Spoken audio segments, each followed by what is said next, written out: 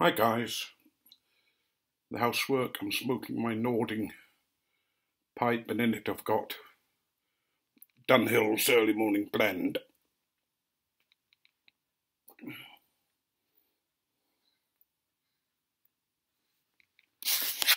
Sorry, just a moment.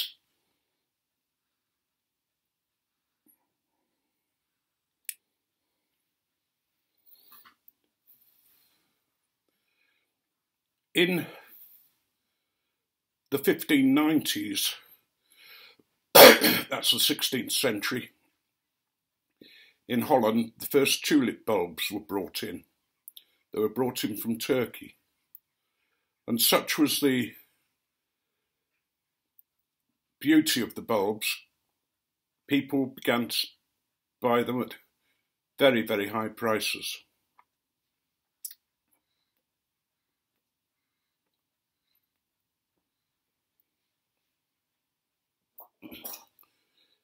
Prices so high that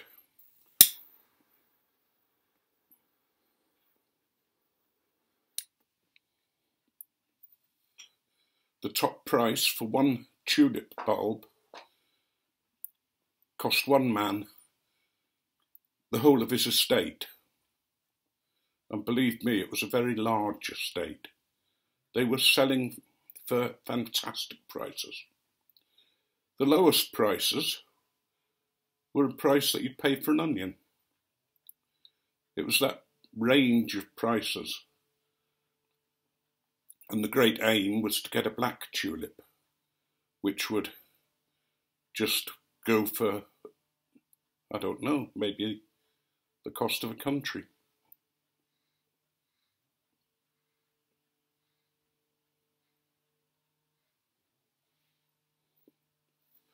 It seemed that the making of fortunes, the beauty of the tulip, the whole regime would never end, that people could make more and more money. And then suddenly the market crashed. For some reason, people wouldn't pay that kind of money.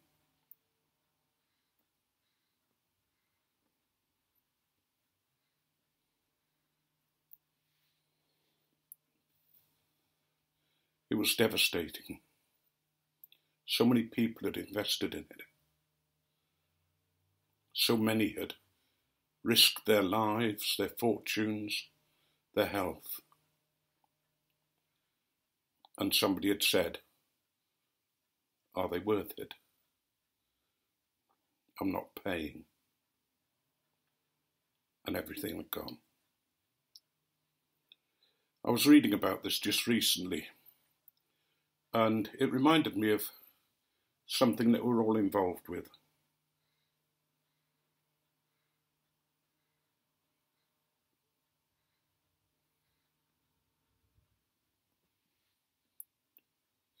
This race for esoterica, particularly for the Penzance blend. People are paying vast prices for it in some ways. You know, £100 a tin. Or 200 I've heard somebody say. What are we buying? At least with the tulip, you've got the flower year after year and more tulips. What do we get with Penzance? lovely taste and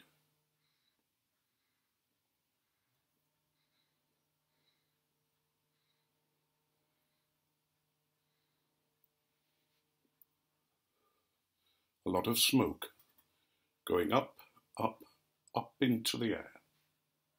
And what do we have at the end of it?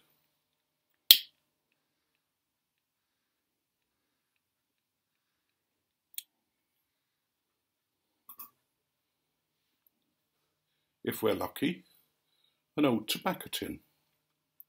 if we're unlucky, a plastic bag that the sample was sent to us in.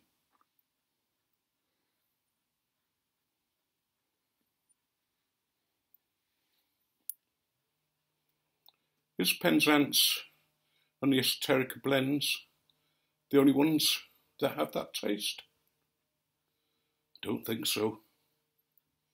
I think there are other tobaccos, other blends that have taste.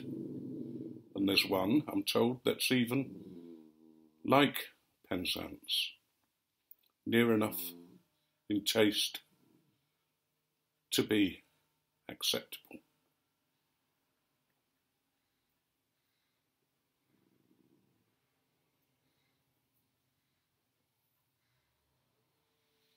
Think about it. What happens when somebody says the emperor's got no clothes? It's not worth it. And then somebody else says, I'm not paying that. I'm not chasing that. I can buy dozens of tins of another blend. Well, if that happens and the market crashes, some of you are going to be left with a cellar full of Penzance. Probably more than you can smoke yourself. When the tulip crash happened, you could hardly give them away. People said, no, sorry, it's not worth it.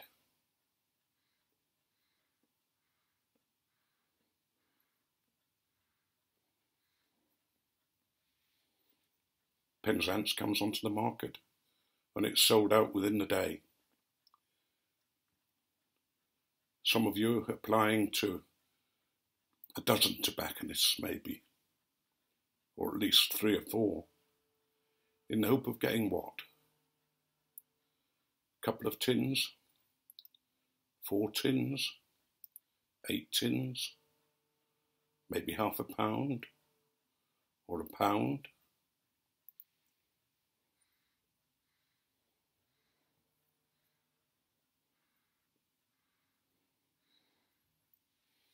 And others desperate to get on the bandwagon. Keep trying and trying to get some of the blend. This magic Penzance.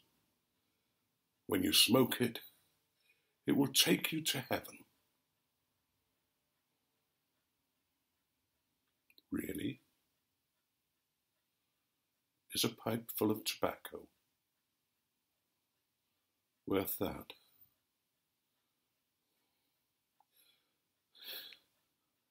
I don't know. Maybe it is. But it's a funny world, isn't it? What do you want?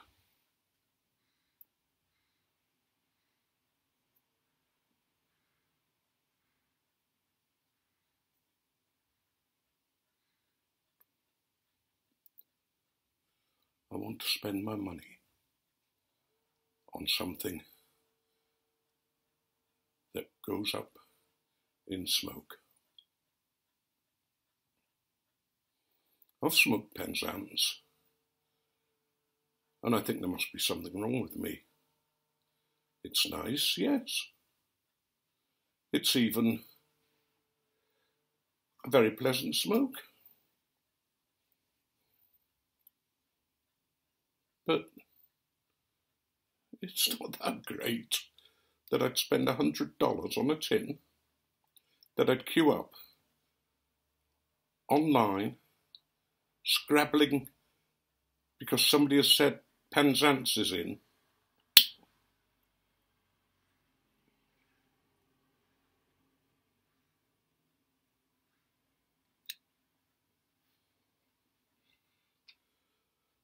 There are people who seem to know how to get it, how to make their money.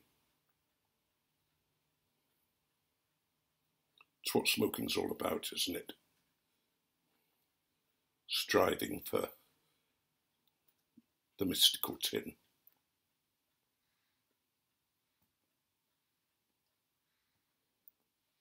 Or is it about something else? Is it about finding a tobacco, however cheap, that you like, and gently smoking it, giving some away to your friends maybe?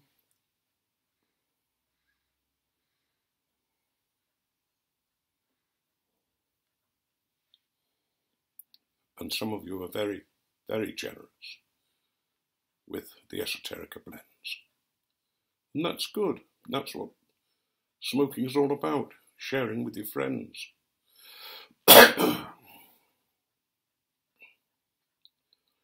Just think what would happen if we treated Penzance the same as any other tobacco. there'd be enough to go round. There'd be enough for everybody when they wanted to smoke to have it.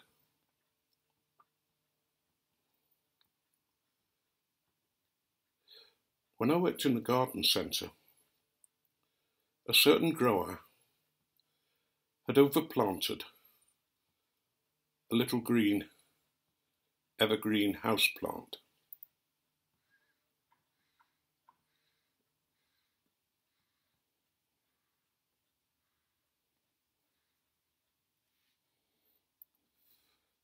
He was desperate to sell them. So in the end, he went to a lady who'd won some money and persuaded her to say, It's all because of this little plant that I bought. It's called the money plant now. He sold his greenhouse full and was very happy.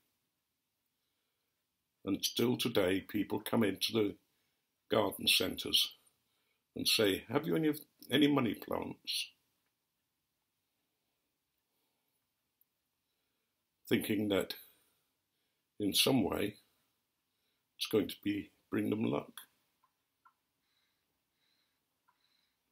In some way, this little plant has power.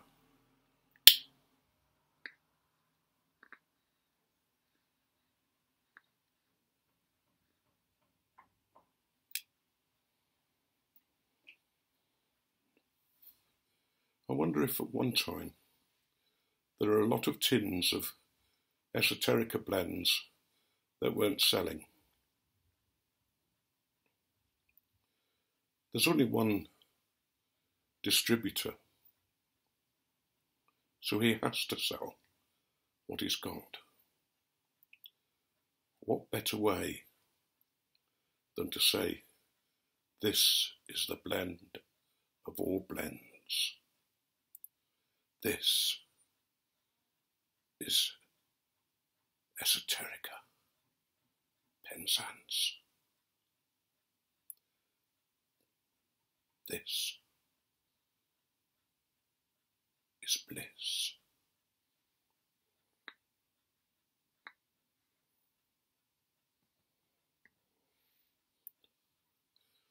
I have the vision that one day somebody's going to be asked, Would you like to fill your pipe with Penzance while you're here?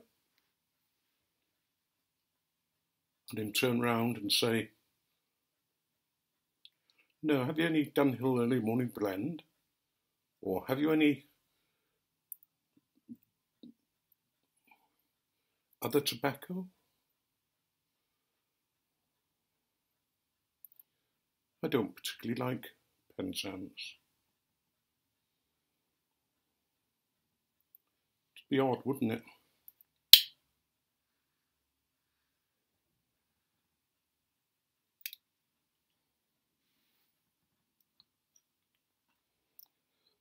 I'm going to leave you with that thought. leave you with the thought of the tulip that you'll see in so many civic gardens in its all its myriad of colours that cost the lives of so many people when the bubble burst. Well, I don't think at the moment, if the bubble bursts on esotericas and Penzance, that it will cost lives. But it might mean, might leave some of us with a cellar full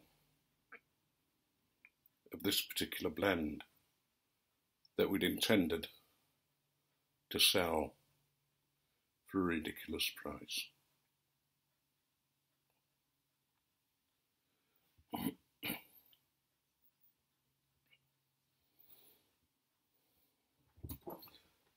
Hmm.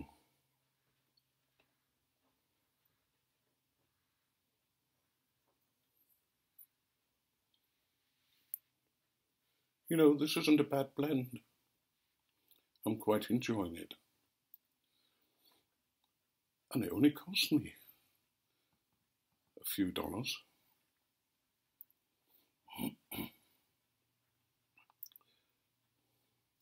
now I'm trying to think of a joke for you to end on.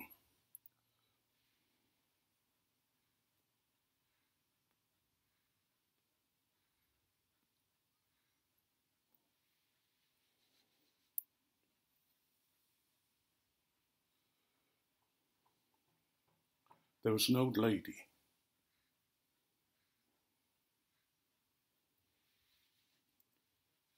She went into the butcher's and he was cutting her meat for her Sunday roast. And she noticed that there were two balls on the back shelf of the butcher's. And she said, What are those? And he said, Oh, they're my golf balls. Yes, they're golf balls.